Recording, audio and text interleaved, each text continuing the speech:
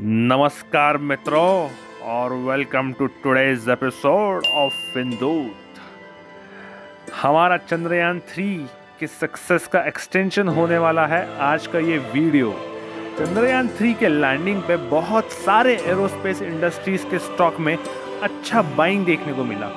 यह चंद्रयान हुआ लैंड और वहाँ ये स्टॉक्स तो जैसे रॉकेट हो गए एकदम. तो यूँ ही मैं इसरो को सर्विस प्रोवाइड करने वाली कंपनीज़ देख रहा था, जो कि आपके मेरे जैसे आम आदमी यानी मैंगो पीपल को अफोर्डेबल हो और टेक्निकली एंड फंडामेंटली भी स्ट्रांग हो।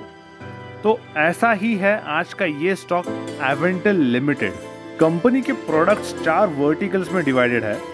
सैटेलाइट कम्युनिकेशंस यानी वो कम्युनिकेशन सिस्टम्स जिसमें सैटेलाइट का यूज़ होता है। हाई फ्रीक्वेंसी कम्युनिकेशन वो होती है जिनकी रेंज तीन या तीस मेगा के बीच में होती है। इलेक्ट्रॉनिक वॉरफेयर वो है जिसमें अलग अलग सिस्टम्स यूज़ की जाती है एनिमी की फ्रीक्वेंसीज या सॉफ्टवेयर डिस्टर्ब करने के लिए। और रडार तो हम सब जानते ही है क्या है।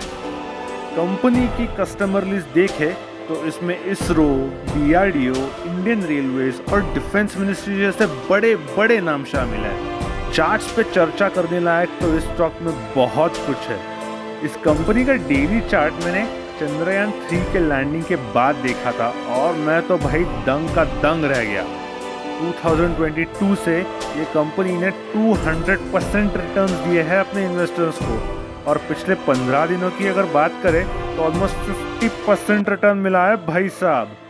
मेरा एक सिंपल सजेशन ये है कि जो लोग शॉर्ट टर्म गेंस के लिए ये देख रहे हैं, उन्हें अभी एंट्री नहीं लेनी चाहिए because it is a little late to get an entry into the stock but अगर अगले कुछ दिनों में एक कंसोलिडेशन मिलता है एंड उससे एक ब्रेकआउट मिलता है तो आप थोड़ी छोटी सी पोजीशन लेने की सोच सकते हो। But do you know something इस कंपनी के चार्ट से ज़्यादा, इस कंपनी के फिनेंशियल्स ने मुझे ज़्यादा इम्प्रेस किया है।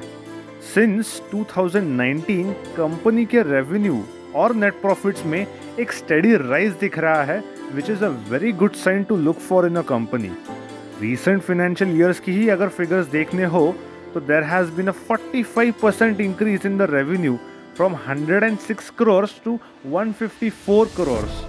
And the best part is that the net profit has also grown by 57% from 19 crores to 30 crores. But company में डेट भी बड़ा है, जो कि यूजुअली एसेट एक्विजिशन के लिए हो सकता है। शॉर्ट टर्म डेट 117 परसेंट से बड़ा है, जबकि इन्वेंट्री 174 परसेंट से बड़ी है। इससे हम ये कह सकते हैं कि because of the increasing demand the company had to procure inventory for which they had to get short term loans but viewers कोई भी इन्वेस्टमेंट डिसीज़न लेने से पहले आपका खुद का एनालिसिस ज़रूर कीजिए या प्रोफेशनल हेल्प लीजिए। ऐसे और भी इंटरेस्टिंग स्टॉक्स के लिए हमसे जुड़े रहे एंड लाइक और सब्सक्राइब करना ना भूलिएगा। This was it for today good bye and sayonara